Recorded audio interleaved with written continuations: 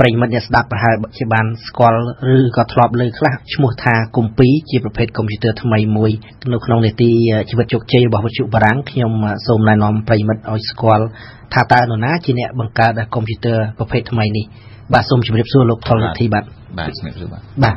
លោកថុលរិទ្ធីគឺជាយុវជនខ្មែរម្នាក់ដែលទៅតែមានអាយុ31ឆ្នាំ លោកគឺជាអ្នកមានគំនិតដែលព្រួយផ្ដើមបង្កើតកុំព្យូទ័រប្រភេទថ្មីមួយសម្រាប់សិស្សានុសិស្សប្រើដែលចាប់ផ្ដើមដំបូងកាលពីឆ្នាំ2012កុំព្យូទ័រប្រភេទថ្មីដូចខ្ញុំបានជម្រាបបាញ់មិញគឺឈ្មោះថាគុំ2តើមានកត្តាអ្វីដែលជំរុញឲ្យលោកមានគំនិតទៅបង្កើត កែច្នៃកុំព្យូទ័រឬក៏បង្កើតកុំព្យូទ័រប្រភេទថ្មីនឹងបាទតាមពិតកត្តាមានច្រើនអ្វីដែលជំរុញឲ្យពួកខ្ញុំមិនខ្ញុំម្នាក់ឯងធ្វើមានអ្នកក្រុមការងារពួកខ្ញុំនៅ Small World ចូលរួមធ្វើជាមួយគ្នារហូតមកកត្តាដែលចម្បងជាងគេគឺយើងយើងអត់ដែលបានទៅរៀននៅសាលាទេប៉ុន្តែយើងបាន ប្រើកម្មវិធីដែលយើងដាក់ដាក់ឲ្យប្រើនៅក្នុងកុំព្យូទ័រកុំពីហ្នឹងបានប្រើកម្មវិធីហ្នឹងខ្លួនឯងតាំងពីដើមមកហើយរៀនបន្ថែមខ្លួនឯងតាមហ្នឹងទៅតែពេលយើងយើងប្រើយូរយើងចេះកុំព្យូទ័រកាន់តែច្រើនយើងចេះ program កុំព្យូទ័រកាន់តែច្រើនអញ្ចឹងយើងគិតថាបើសិនជាក្មេងៗចំនួនក្រោយមានឱកាសប្រើកុំព្យូទ័រប្រភេទនេះគាត់ប្រកាសជាអាចរៀនបានច្រើន និងស្រាវជ្រាវបានច្រើន ជាចុងក្រោយយើងក៏គិតថាធ្វើម៉េចឲ្យក្មេងៗចំនួនក្រោយមានឱកាសប្រើកុំព្យូទ័រនេះអញ្ចឹងយើងក៏ចាប់ផ្ដើមគិតរឿងបង្កើតកុំព្យូទ័រជា laptop ហ្នឹងហ្មងទៅប៉ុន្តែមុននឹងបានជា laptop ហ្នឹងយើងយើងសាកល្បងក៏កំណត់ច្រើនយើងគ្រាន់តែចង់ធ្វើប្រព័ន្ធដំណើរការហ្នឹងដាក់ឲ្យគេប្រើជាសេរីទៅ គេយកទៅដំឡើងខ្លួនឯងក្នុងកុំព្យូទ័ររបស់គេក៏បានដែរប៉ុន្តែពេលដែលយើងយកទៅដំឡើងតាមកុំព្យូទ័រផ្សេងៗវាមានបញ្ហាដោយសារកុំព្យូទ័រទាំងអស់ហ្នឹងគាត់បង្កើតមកសម្រាប់កម្មវិធីដូច Windows ឬអីចឹងអញ្ចឹងម៉ាកកុំព្យូទ័រមួយមួយវាមាន hardware របស់វាផ្សេងៗគ្នាអញ្ចឹងដល់ពេលយើង install របស់យើងវាអត់ត្រូវក៏សម្រាប់ចិត្តធ្វើរបស់យើងខ្លួនឯងទៀតតែធ្វើ hardware ខ្លួនឯងឥឡូវនេះមានកុំព្យូទ័រមួយគ្រឿងនៅមុខពួកខ្ញុំនេះហើយលោករទីក៏បានបង្ហាញប្រាប់អំពីរបៀបប្រើប្រាស់កុំព្យូទ័រនេះនៅចំពោះមុខក្រុមការងាររបស់យើងអំបញ្ញមិញដែរលោកអាចបញ្ចូលបានទេថាតើកុំព្យូទ័រនេះវាមានលក្ខណៈខុសគ្នាជាមួយនឹងកុំព្យូទ័រទូទៅផ្សេងទៀតដែលផលិតដោយបរទេសនឹងយ៉ាងម៉េចវិញបាទ តាមពិតតកតងជាមួយ hardware វាអត់មាននៃការអត់មានខុសគ្នាខ្លាំងទេវាដូចតែគ្នាយើងប្រើចេញពីរោងចក្រផលិតដូចគ្នាដូច Apple ដូច Dell ដូចអីហ្នឹងរោងចក្រនៅកន្លែងតែមួយយកចេញពី source តែមួយឯងអ្វីដែលយើងព្យាយាមដាក់នៅកន្លែងនេះគឺធ្វើម៉េចដោយសារក្រុមពួកយើងតូចយើងអត់ចាយលុយច្រើនក្នុងការ operation ជាងវិសេសទីមួយយើងអាចផលិត computer ដែលមាន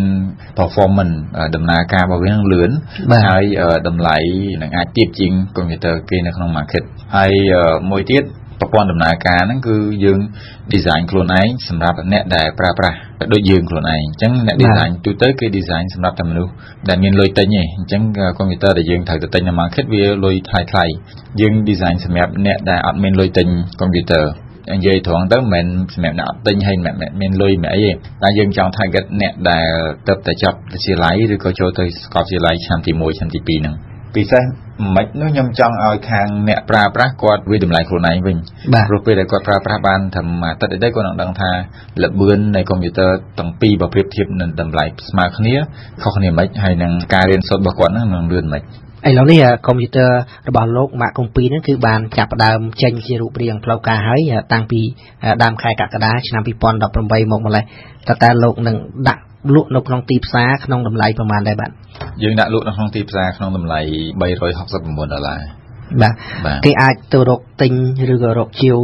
នៅកន្លែងណាបានបាទនៅពេលនេះអ្នកដែលចង់ទិញគាត់អាចទិញតាម website បានទិញតាម website kompi.com ឬក៏ផ្ញើសារទៅក្នុង Facebook page របស់យើង facebook.com/kompi តាក់ទងជាមួយនឹងគាត់បានកុំព្យូទ័រទៅប្រើលុះត្រាតែ ខ្ទង់កំឡុងប្រហែលជាថ្ងៃទី10ខែ10បានយើងបានមកដល់ដៃគ្រប់គ្នាព្រោះយើងយើងពេលក្រោយនេះយើងយើងត្រឡប់ទៅខាងរោងចក្រវិញទៅ redesign ឡើងវិញបន្តិចទម្លាក់គីឡូដោយសារពេលដែលយើងយក prototype ចុងក្រោយរបស់យើងនេះទៅបង្ហាញទៅគ្រូមួយចំនួនគាត់ថានៅធ្ងន់វាមានទម្ងន់1គីឡូ4ខាំវាទៅវាត្រូវជា1400ក្រាមហើយយើងទម្លាក់ដល់1200ក្រាម1200ប្រហែលក្រាមទេបាទ អឺអញ្ចឹងវាវាស្រាលជាងប្រហែលជា200ក្រាមអឺបើប្រៀបធៀបនឹងកុំព្យូទ័រផ្សេងស្រាលជាង ប្រៀបធៀបនឹងកុំព្យូទ័រខ្លួនឯងហ្នឹងបាទនិយាយទៅយើងអត់ចង់ប្រៀបធៀបជាមួយកុំព្យូទ័រអ្នកដទៃទេកុំព្យូទ័រផ្សេងផ្សេងយើងចង់ design ស្អីក៏ដោយកុំព្យូទ័របន្តបន្តទៀតគឺ design ប្រៀបធៀបនឹងខ្លួនឯងបើសិនជាយើងល្អជាងខ្លួនឯងនៅរាល់ដងដែលយើង redesign វានឹងពិសេសតែបាទសូមជម្រាបផងដែរថាលោក Authority គឺលោកជាស្ថាបនិកក្រុមហ៊ុន Smallworld ហើយលោកបានចាប់ដើមបង្កើតអាជីវកម្មកម្មវិធី software ថ្មីជាមួយនឹងកុំព្យូទ័រចាស់ចាស់ពីដំបូងឡើយដោយមានសហការពី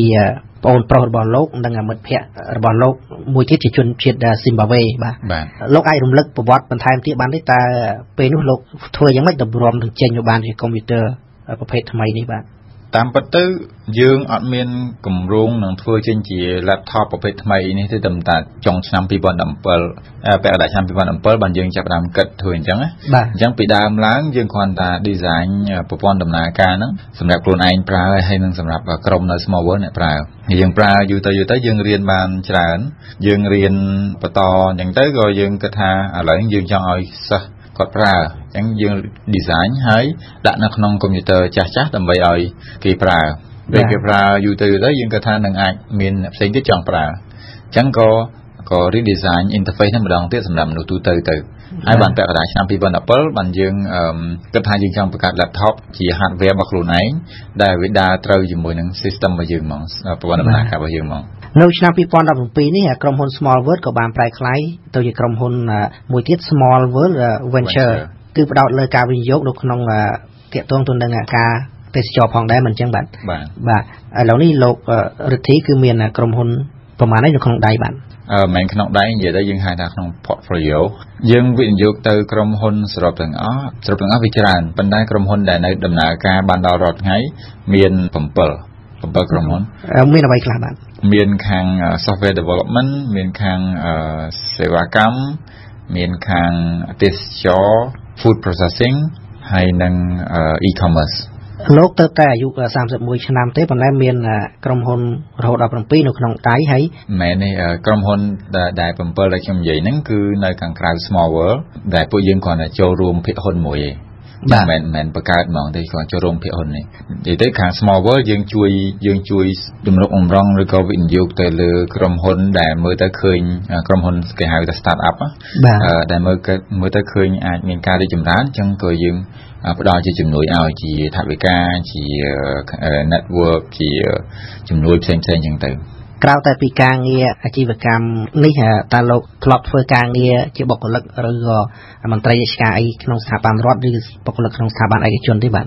ខ្ញុំធ្លាប់ស្ម័គ្រចិត្តធ្វើការនៅឆ្នាំ2006ធ្វើការនៅជាគ្រូខាង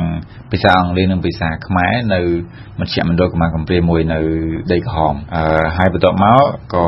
ឈប់ទៀតទៅហើយក្នុងឆ្នាំ2009ក៏ទៅស្ម័គ្រចិត្តនៅអង្គការខាង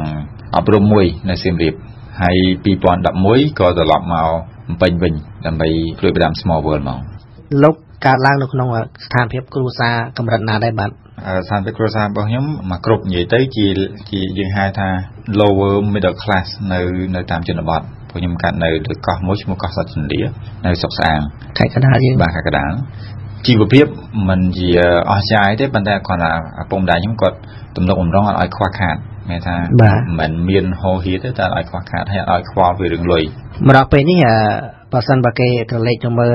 ការងាររបស់លោកនៅក្នុងដៃហើយនឹងជាពិសេសគឺលោកមានកំណត់ក្នុងការព្រួយផ្ដើមបង្កើតកុំព្យូទ័រថ្មីដែល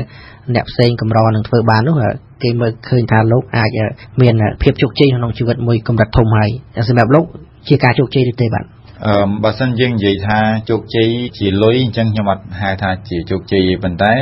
មានមិត្តភ័ក្តិគាត់ធ្លាប់ define ជោគជ័យឲ្យខ្ញុំគាត់ថាដោយសារខ្ញុំអត់គិតអត់ខ្វល់ខ្វាយរឿងលុយហើយខ្ញុំធ្វើស្អីដែលខ្ញុំចូលចិត្តនិយាយទៅខ្ញុំខ្ញុំងើបពីគេងមកខ្ញុំធ្វើអីដែលខ្ញុំចូលចិត្តរាល់ថ្ងៃអញ្ចឹងវាជាជោគជ័យមួយសម្រាប់ការងារដែលយើងធ្វើរាល់ថ្ងៃវាអាចចាត់ទុកថាជា5%នៃកម្រិតដែលយើងចង់បាន អញ្ចឹងនៅនៅច្រើនភាគរយទៀតលោកមានក្តីបំណងប្រាថ្នាឬក៏គោលដៅយ៉ាងម៉េចទៀតទៅថ្ងៃមុខថាដើម្បីធ្វើជោគជ័យត្រឹមតែជោគជ័យកុំព្យូទ័រកុំពីហ្នឹងមានការទទួលស្គាល់ជាទូទៅក្នុងការប្រើប្រាស់ឬក៏នឹងបង្កើតអ្វីថ្មីទៀតបាទតកតងជាមួយនឹងកុំព្យូទ័រវាជាសម្រាប់ពួកយើងយើងគិតថាវាជាឧបករណ៍ទី1ដែលដែលយុវជនឬក៏ក្មេងៗជំនាន់ក្រោយត្រូវតែមានបើគាត់មានកុំព្យូទ័រគាត់ប្រកាសជាអាច បន្លឿនការរៀនរបស់គាត់ហ្នឹងឲ្យកាន់តែលឿនមានការអាប់ដេតឲ្យទាន់សម័យជាមួយនឹងនៅអ្នកលោកខាងលិចលោកខាងកើតលោកខាងជើងខាងត្បូងហ្នឹងយុវជនក្មេងចំនួនក្រោយនឹងអាចមានជាធនធានច្រើនសម្រាប់ជួយសម្រាប់ពួកយើងយើងគម្រោងនឹងបង្កើតដូចជាកង់ដែលប្រើធម្មពលអគ្គិសនីបាទបាទដែលគ្រោងនឹងចេញនៅពាក់កណ្ដាលឆ្នាំក្រោយយើងសង្ឃឹមថាកង់ហ្នឹងនឹងជួយសម្រួលខាងចរាចរណ៍ខ្លះសង្ឃឹមថាមាននឹងមានអ្នកផ្លាស់ប្ដូរមកជិះកង់ ប៉ុន្តែមានអ្នកជិះកង់ច្រើនឥឡូវតែគាត់ចង់តែគាត់ជិះកង់ធម្មតាឬកង់នាំចូលពីបរទេសបាទយើងអត់គិតថានាំចូលបរទេសមិននាំចូលបរទេសប៉ុន្តែយើងយើងគិតចេះវិញយើងគិតថាធ្វើម៉េចសម្រួលការរស់នៅប្រចាំថ្ងៃបើសិនជាមានអ្នកនាំចូលមកប៉ុន្តែសម្រួលឲ្យល្អសម្រាប់បរិស្ថានដែរអានឹងយើងគ្រប់គ្រងបើអត់មានយើងធ្វើ នៅមានកម្មវិធីច្រើនទៀតនៅក្នុងកុំព្យូទ័រខ្លួនឯងហ្នឹងក៏យើងចង់បង្កើតកុំព្យូទ័រលំដាប់មួយទៀតដែលឲ្យគេហៅយើងហៅ singularity ឲ្យទូរស័ព្ទទៅទៅជាកុំព្យូទ័រហើយយកកុំព្យូទ័រដែលយើងមានហ្នឹងជា shell សម្រាប់គាត់ថាបង្ហាញដូចដូច monitor អញ្ចឹងជាការពិតលោករិទ្ធីគឺត្រូវបាន